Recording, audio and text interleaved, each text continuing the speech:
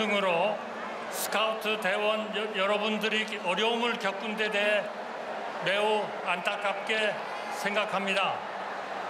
오늘 이 자리에 오기까지 예기치 않은 상황에서 자기 일처럼 앞장서 주신 분들이 많으셨습니다. 자원봉사자와 의료진 여러분, 군, 경, 소방을 비롯한 공무원과 공공기관 임직원 여러분의 노고에 감사드립니다.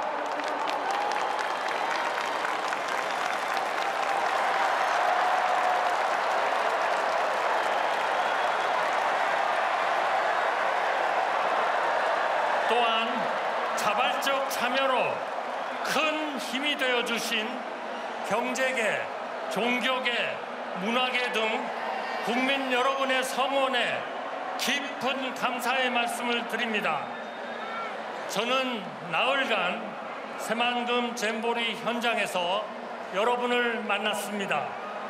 여러분은 뜨거운 햇빛 아래에서도 남다른 책임감과 이타심으로 서로를 먼저 챙기면서 어려움을 극복해 나가고 있었습니다. 여러분의 이러한 스카우트 정신은 세계인의 연대와 협력의 토대가 될 것입니다.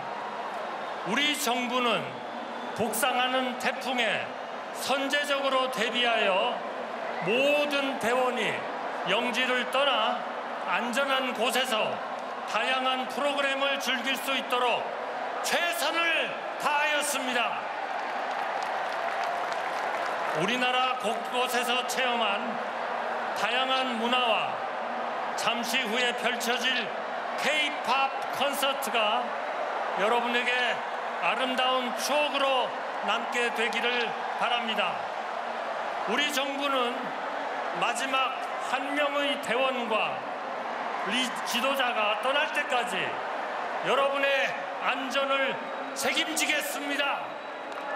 여러분도 적극적으로 협조해 주시기 바랍니다. 대한민국은 언제나 여러분의 꿈을 응원합니다. Now, my beloved scouts and scouts leaders, after 12 days, now do you know better and love more Korea? 감사합니다. Thank you. Merci beaucoup.